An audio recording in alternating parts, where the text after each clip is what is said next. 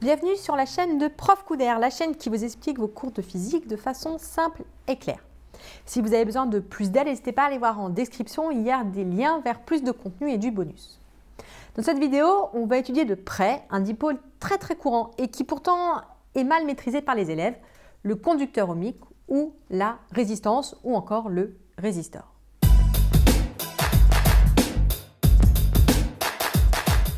Commençons tout d'abord par un point vocabulaire. Quand on dit le mot résistance, cela peut vouloir dire deux choses. À la fois le dipôle, donc ceci, donc l'objet en lui-même, mais ça peut aussi être la grandeur physique. La résistance est une grandeur physique qui s'exprime en ohm et qu'on verra ce que c'est exactement dans la suite de la vidéo. Mais du coup, pour éviter les problèmes de vocabulaire, etc., moi, cet objet-là, je ne vais pas l'appeler la résistance, je vais l'appeler le conducteur ohmique. En plus, on voit bien que comme ça, avec ce mot, on voit que c'est le conducteur qui respecte la loi d'Ohm, qu'on va voir aussi. On peut entendre encore le mot résistor pour l'objet, mais bon, il commence vraiment à être abandonné, donc ça vaut le coup d'appeler ça les conducteurs ohmiques, comme ça vous êtes raccord avec ce qui se fait aujourd'hui. Alors un conducteur ohmique, on l'a dit, ça peut ressembler à ça, mais ça peut aussi ressembler à ça. En fait, il y a des conducteurs ohmiques de plein de formes différentes. Donc là, on reconnaît ce qu'on met dans une bouilloire, d'accord? Ce qui fait chauffer l'eau dans une bouilloire, c'est un conducteur ohmique. Et on va trouver aussi des conducteurs ohmiques dans les radiateurs, dans les grippes. Hein. C'est un fil qui chauffe. Quand on veut dessiner dans un circuit, on va le dessiner avec son schéma normalisé, c'est-à-dire un rectangle comme cela. Et à quoi ça sert un conducteur ohmique Vous me direz, eh bien en fait ça sert, on l'a vu, à chauffer, d'accord? C'est un fil qui chauffe, mais ça sert aussi à protéger les dipôles qui sont fragiles. Ces petites choses-là seront à protéger les dipôles qui sont à côté. Par exemple, les fusibles, hein, ce qu'il y a dans les boîtes de fusibles, ce sont des conducteurs ohmiques, donc il y a un rôle de protection et ou un rôle de chauffer. Pour bien comprendre comment fonctionne un conducteur ohmique, on va commencer par plonger au niveau microscopique pour bien comprendre ce qui s'y passe. Au niveau microscopique, on a vu dans cette vidéo-là que le courant était en fait un courant de porteur de charge.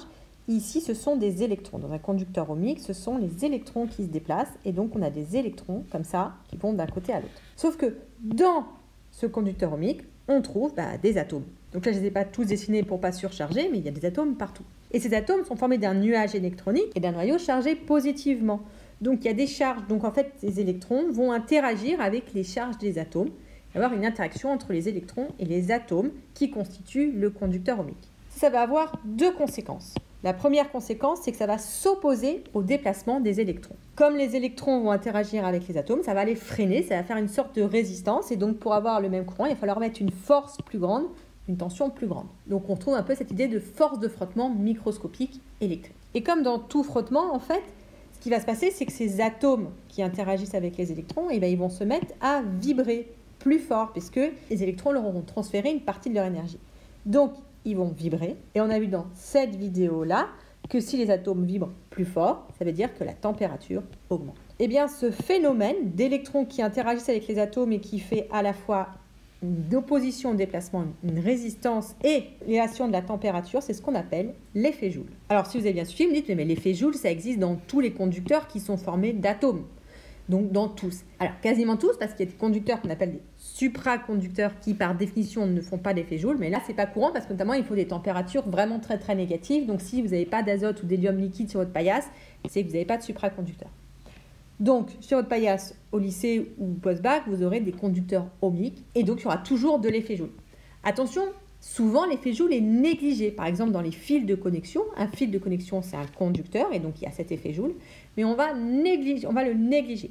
Alors que dans les conducteurs ohmiques, ce n'est pas négligé. Pourquoi? Parce que le matériau qui constitue ces, résistors, en fait, est légèrement différent et donc il est fait pour s'opposer un peu plus au courant et donc pour qu'on ne puisse pas négliger l'effet Joule parce que c'est ce qu'on va rechercher, on va rechercher cet effet Joule.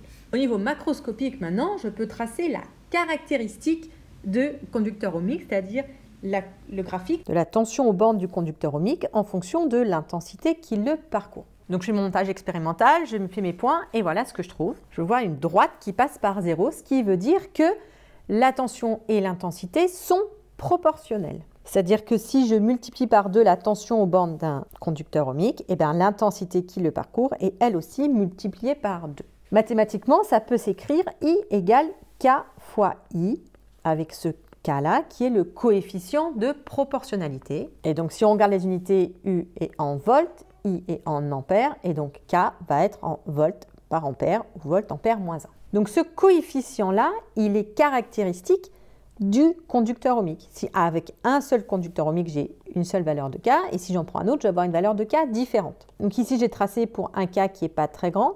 Si maintenant je trace le graphique pour un autre conducteur ohmique qui a un coefficient de proportionnalité beaucoup plus grand, je vais trouver ceci. On voit que pour obtenir la même intensité, eh ben, il va falloir que mettre une tension beaucoup plus grande, donc une force beaucoup plus grande. En fait, ce conducteur ohmique-là va plus s'opposer au passage du courant. Donc on voit que plus ce coefficient est grand, plus le conducteur va s'opposer au passage du courant. C'est pour ça que ce coefficient, on lui a donné un nom, c'est une grandeur physique qu'on appelle pas K, mais qu'on appelle R. Et c'est ça la résistance, c'est cette grandeur physique-là. Et si vous vous rappelez de vos cours de collège, vous voyez, ça s'exprime en ohm, et donc on a bien 1 ohm vaut 1 volt par ampère, 1 volt ampère moins 1. Et cette relation-là, qui est hyper importante à connaître, mais qui n'est vraie que pour les conducteurs ohmiques, c'est ce qu'on appelle la loi d'Ohm. Et donc attention, c'est vraiment là où les élèves se trompent, c'est qu'ils l'appliquent à tous les dipôles. Non, ce n'est vrai que pour un conducteur ohmique, donc une résistance, quelque chose comme ça. Il y a beaucoup de dipôles pour lesquels cette relation n'est pas vraie.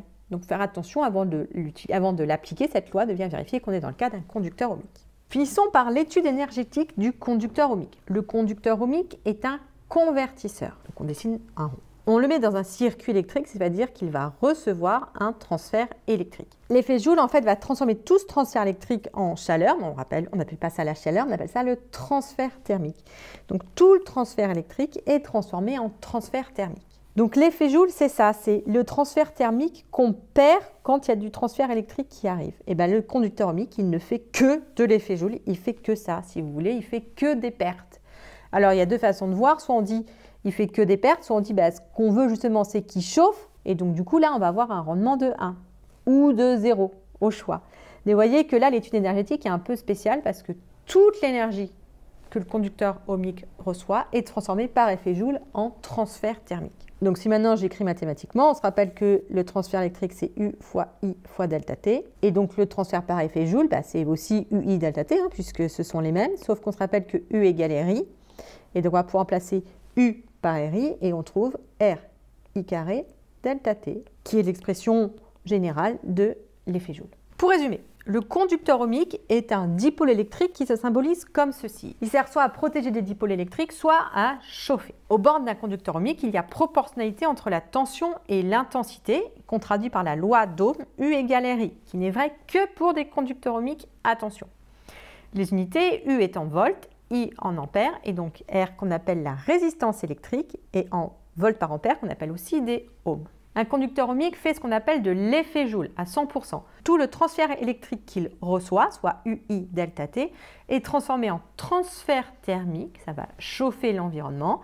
Et donc, si on remplace la loi d'Ohm là-dedans, on trouve que le transfert thermique, c'est RI carré delta T. C'est ce qu'on appelle l'effet Joule. Voilà, j'espère que cette vidéo vous a plu. N'hésitez pas à liker si c'est le cas et à poser vos questions en commentaire si quelque chose n'est pas clair pour vous. Et si vous voulez de l'aide pour travailler vos cours, n'hésitez pas à aller voir en description. Je vous offre un petit cadeau pour vous aider.